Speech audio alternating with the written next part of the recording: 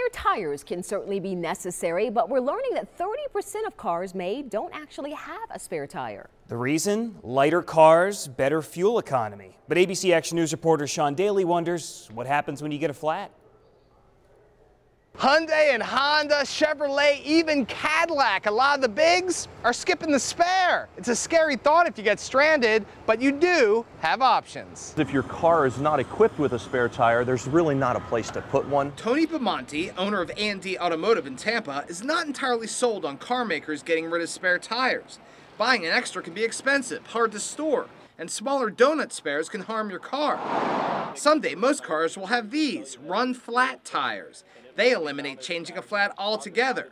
Right now, they're about 160 bucks a pop. You can go usually up to about 50 miles without having to put air in it. You can get a can of Fix-A-Flat for under 10 bucks, but the results can be messy. Battery-operated inflators and compressors are in the $40 range.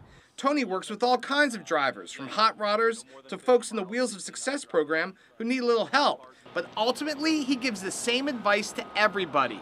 The cheapest, safest way to handle a flat roadside assistance insurance. For $65 a year, it's definitely something that will come in handy. Uh, you don't want to change your tire on the side of the road. If you're like me, you need a little help when it comes to cars, so I put a ton of good information about flat tires and spare tires on abcactionnews.com. Guys, back to you.